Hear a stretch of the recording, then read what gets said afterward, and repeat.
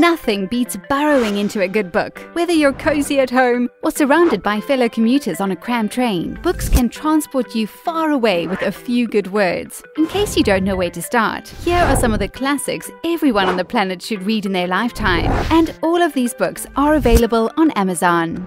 13 books you should read in your lifetime.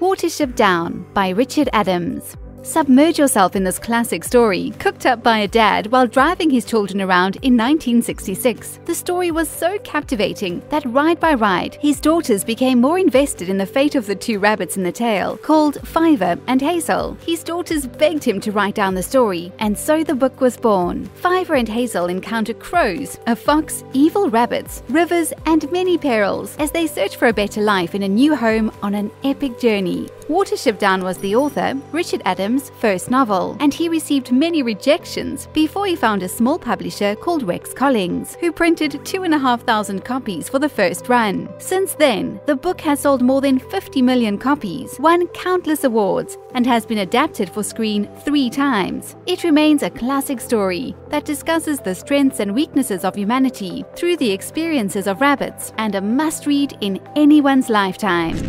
A Short History of Nearly Everything by Bill Bryson. Apart from making you seem like a genius at any dinner party, this book really is a marvel. In his accessible and plain speaking way, Bill Bryson uses his wit, usually reserved for travel writing, to explain just about everything. From the start of the universe all the way to particle physics and quantum mechanics, he covers every topic under the sun. It is a book about knowing, but even more about understanding these concepts in layman's terms, and only Bill Bryson could have pulled it off. It is not as heavy as you might think think. As ever witty, Bryson explains there are three stages in scientific discovery. First, people deny that it is true. Then, they deny that it is important. Finally, they credit the wrong person.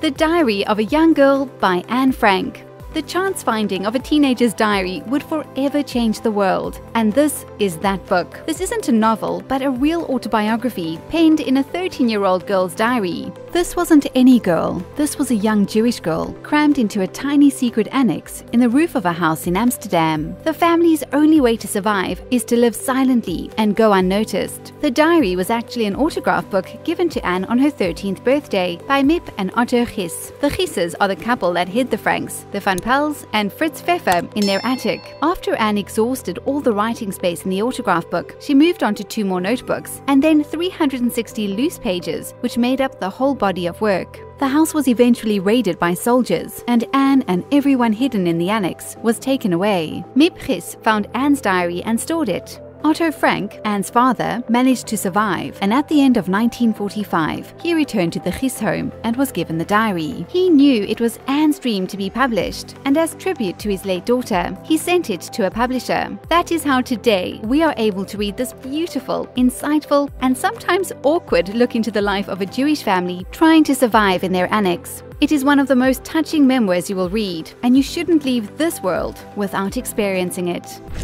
The Little Prince by Antoine de Saint-Exupéry. The Little Prince is one of the most read and most translated books in the world. And when you dive into a universal story and deeply profound message written in a crisp style, you will see why. The story is set in the Sahara Desert, where a pilot has crashed his plane. He is greeted by a young boy who claims to be from a different planet. The two have many conversations as the pilot repairs his plane. The little prince talks about his home planet and how he longs to return home. It is written as a children's story, but equally powerful as an adult read. It was in fact inspired by The Little Mermaid by Hans Christian Andersen. The author, Saint Exupéry, was himself in a plane crash and confined to hospital while he healed. His friend read him The Little Mermaid, and he was motivated to write a fairy tale too. And aren't we glad that he did? The Book Thief by Markus Zusak. Another book set around 1945 is The Book Thief. It might seem so authentic that it reads like it was written at the time. However, it was penned in 2005 by Australian writer Markus Zusak. The lead character, Liesel, is a young girl on a mission to rescue all the books being destroyed during that time. She hides them away in her family home, along with a fighter they are protecting, in their basement. The young girl and her family's bravery and sacrifice are remarkable and a more relevant topic than ever in the modern world. What sets it apart is the narrator, Death himself, observing the family from above. The book was redrafted over 200 times by the author, and his approach paid off, as the book has since sold more than 8 million copies globally and is translated into 30 languages. It had a remarkable 230 weeks on the New York Times bestseller list, so be sure to find out why for yourself soon. Wuthering Heights by Emily Bronte. Forget Romeo and Juliet. That romance seems simple compared to the love affair between Cathy and Heathcliff in Wuthering Heights. The Gothic romance is a no-holds-barred tale of complicated love affairs between unequal classes. The gypsy foundling Heathcliff and a well-heeled Catherine. Cathy surrenders to her fate and ends up with a moneyed Edgar Linton. But the ghosts of her past romance come to haunt the next generation of her family. A vengeful and betrayed Heathcliff makes a play at Cathy's innocent heirs, and they are forced to revisit the legacy of unrequited love. It is a reaction to the romantic fiction of Jane Austen at the time, and Bronte's unique Gothic romance is packed with darker undertones. It remains one of the most beautiful pieces of prose ever written. Alice's Adventures in Wonderland by Lewis Carroll. Firstly, Lewis Carroll was a pseudonym. The author of Alice's Adventures was Charles Lutwidge Dodgson. He drew inspiration for his character Alice from a real girl named Alice and her three siblings. It was almost called Alice's Adventures Underground, and rumor has it that he based the character of the dodo on himself. Carroll struggled with a rare neurological issue that caused him to see things that weren't there or make objects appear larger or smaller than they really were. It wasn't until 1955 that this disorder was labeled, which could explain why Alice is able to grow and shrink in the story. The original manuscript is still in London and very rarely leaves the UK. The value placed on the script has never been divulged, and it's heavily guarded. The book has been translated into 176 languages and is a must have for any bibliophile.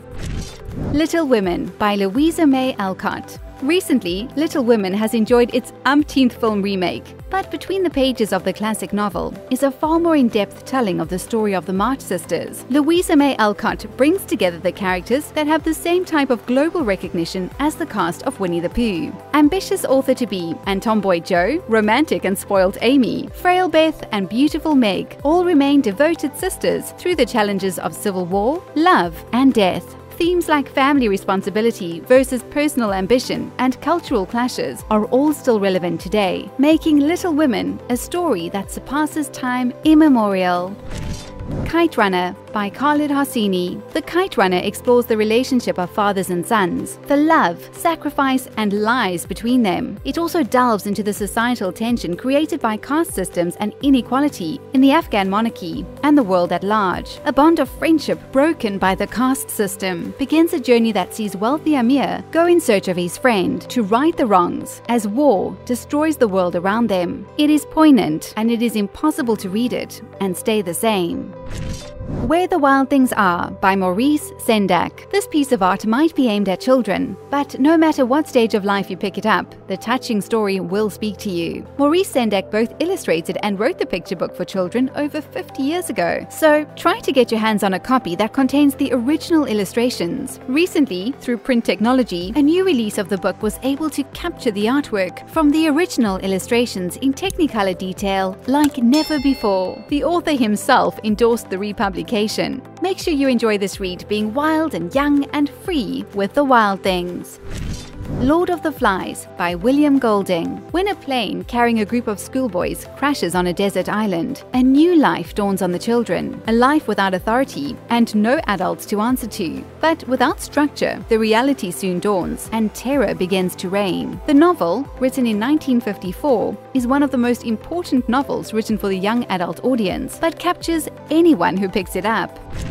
The Shadow of the Wind by Carlo Ruiz Zafón. This book might not sound as familiar to you as the other novels on this list, but it is actually one of the best selling books of all time. The book is a story within a story of a boy, Daniel Sempere, who is on a mission to find all the works of author Julian. He soon becomes involved in tracing the entire history of Carax, there is mystery, espionage, and a suspicious Inspector Fumero. Perhaps a plot too complicated to get into here, but the millions of global readers who have kept it selling since 2001 can't all have got it wrong. So, pick up a copy soon.